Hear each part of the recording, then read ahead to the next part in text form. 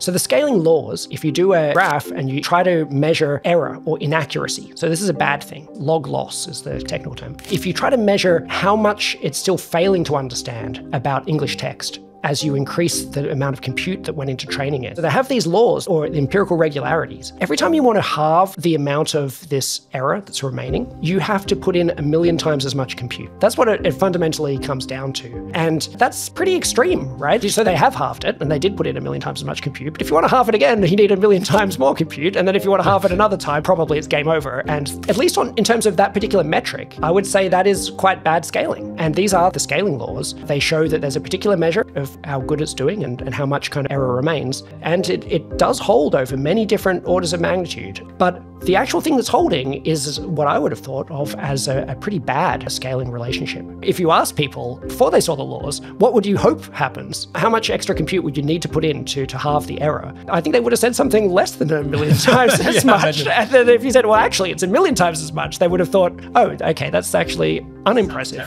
How then have we been managing to make so much progress? So, when most people saw this type of thing, they would have thought, oh, so in order to get good performance on this task, you would need to run an experiment larger than any experiment that's ever been run in any computer science department ever. And they would then rule it out. Whereas the pioneers of scaling thought, oh, but that wouldn't be that much money for a company. In some sense, all you had to do then was this work of just making this existing thing bigger. You didn't have to come up with any new ideas. And then the other thing that's turned out to, to make it have big impacts in the world is that for every million fold increase in the compute of setting up these models, we've seen spectacular improvements in the capabilities as felt by an individual. So, so a way to look at this is that the shift from GPT-2 to 3 used 70 times as much compute, and going from 3 to 4 used about 70 times as much again. And GPT-3 felt worlds away from 2, and 4 felt a real improvement as well. You really felt it in both cases. A visceral feeling of, wow. This is suddenly useful. Yeah, this is qualitatively better. That said, you'd probably hope that that was true if someone said something costs 70 times as much. How's the wine that costs one pound and the wine that costs 70 pounds? You'd hope that the wine that costs 70 pounds is noticeably better. Otherwise, what on earth's going on? One of the numbers that you might really care about is if you 10x the amount of compute that goes into it,